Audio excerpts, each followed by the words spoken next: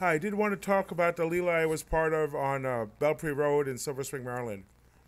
I was uh, at a Starbucks reading uh, spiritual material down the road from the uh, Vedanta Center, and I was trying to regain chastity that I lost uh, on when uh, Lakshman Tulsidas had refuted my claim that I'm a Pitta Party delegate when I went to him uh, after a year and told him.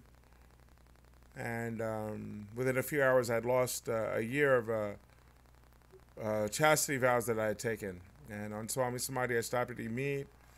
I uh, didn't drink alcohol. I didn't use nicotine. Um, uh, but I, I ate. I stopped drinking Diet Coke or any soda, but ate eggs because the voice in my head did not specify eggs. So I abstained from Diet Coke and um, ate uh, eggs at the same time.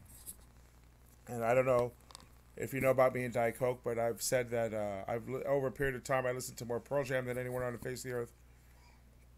And over a period of time, I drank uh, probably more Diet Coke than anyone on the face of the earth. So I stopped drinking Diet Coke, but ate eggs. And uh, I was on uh, Bel Pre Road by the um, Vedanta Center at a Starbucks reading spiritual material, debating whether I should go across the driveway to McDonald's and and uh, have breakfast. And um, and Swami's voice came into my head and said, uh, "Yes, that'd be okay. Go ahead. It's okay."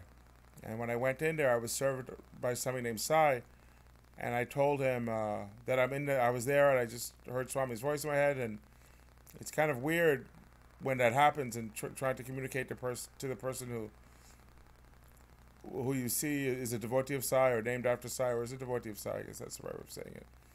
And uh, but I told him I was in that, or I communicated to him that I was in that, in that um, uh, establishment at that moment because I heard uh, Swami's voice in my head. So that was my dad who just w- walked in for a second. I see him on the 50 50.